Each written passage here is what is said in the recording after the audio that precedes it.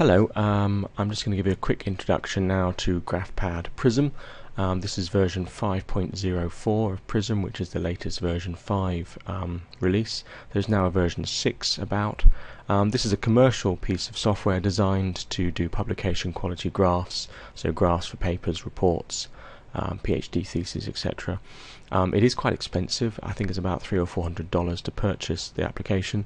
Um, you can download a free demo from www.graphpad.com and that'll allow you to use the software um, in its current version for I think 29 30 days um, and you can save, you can copy, you can paste, you can do all the functions you can do in this uh, full version but after 30 days um, the license expires and you can no longer use it without purchasing it so if you need it for a short period to complete a report go for it, download it, use it. Um, if you intend to use it long term, I would suggest you invest in it. It's an amazing program for doing graphs, and I'm just going to skim over the surface of some of the basic graphs today.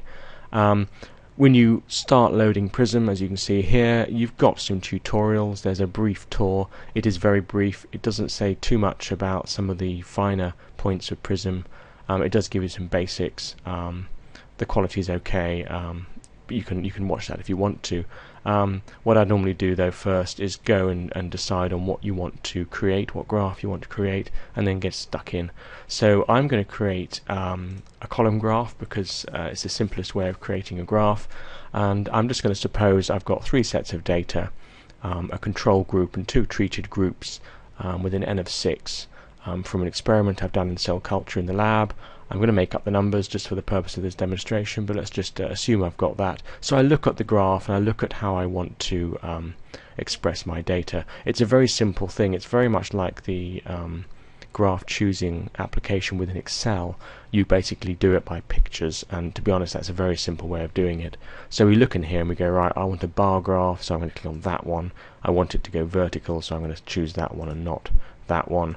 Um, if I wanted to scatter plot or a box and whiskers I could choose the correct ones so I can click on bar graph and down here it says plot mean with standard error of the mean, mean with standard deviation, geometric mean, etc. etc.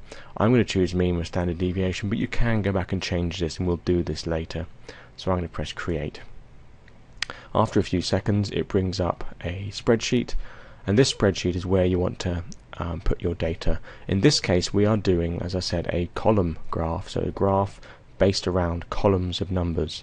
So we've got a series of columns A, B, C, D, E, F, and G.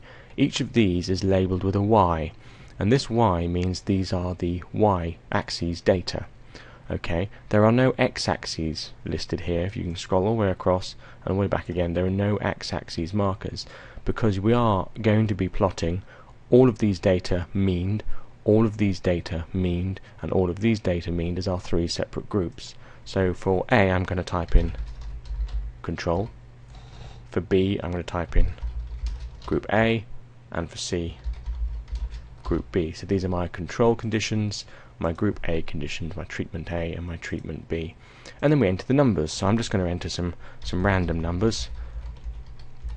N of 6, this could be densitometry, it could be a re reaction to a to an experimental condition. And then group A, I'm going to enter the numbers where the uh, data are recorded here. And then finally group B,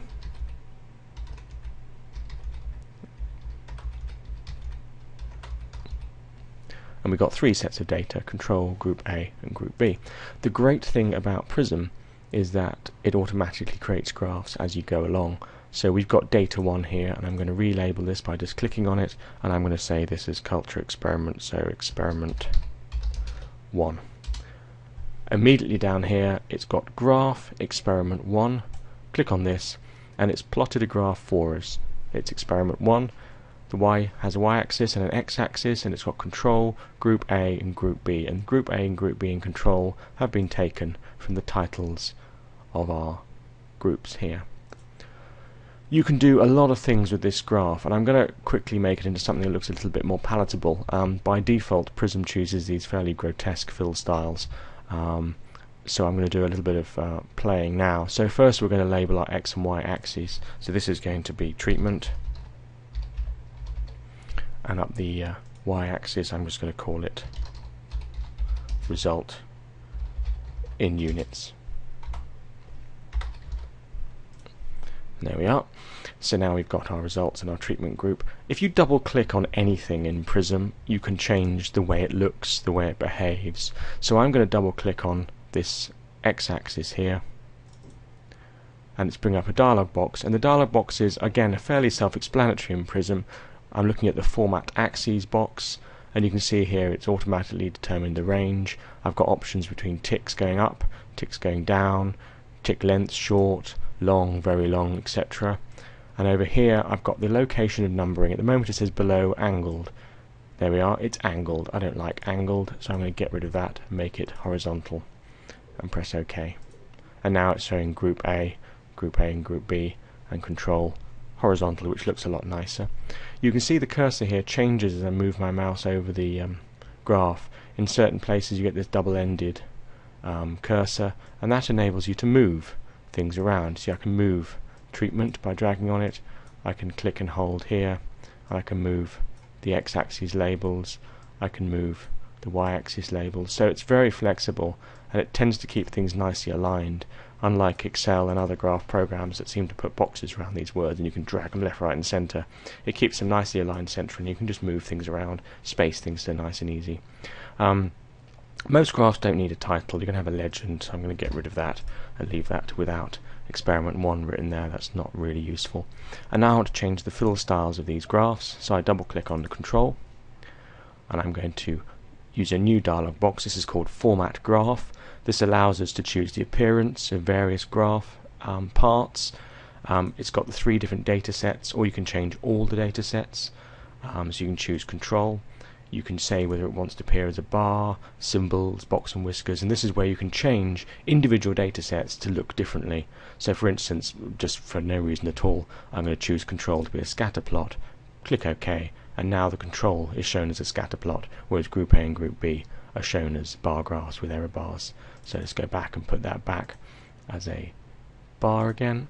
And now you can choose the fills, you can choose whether it's mean or standard deviation. So for control, I'm going to make these white. For group A, I'm going to make them not filled, but I'm going to give them a slight grey colour. Group B, again, not filled, but I'm going to make them a black colour. So now I've got three sets of data with incremental shaded fills, um, which kind of uh, detracts from the data, but also gives you a little, little kind of a hint that it's getting bigger. Um, again, we've got error bars here that are going up at the moment. I may want the error bars going up and down. So if I double click on it, down the bottom here you've got error bars. I can click on all data sets and choose the error bars to go above and below, or both. So there we are. And now I've got error bars going above and below. Um, I think these error bars look very thick to me, and the borders of these lines look quite thick and chunky. For only three bars, it's a bit in your face. So again, we can double click here, and the last option here is down. We've got bars and fills, and we chose the pattern, and we also left the borders the same, so we can go up to here, all data sets, choose borders to be one point, and also change our error bars to be one point. And now we've got a graph that looks a little bit nicer. Um, and there we are, first graph. So we're going to come back to this uh, in the next tutorial and do another graph and then start combining things.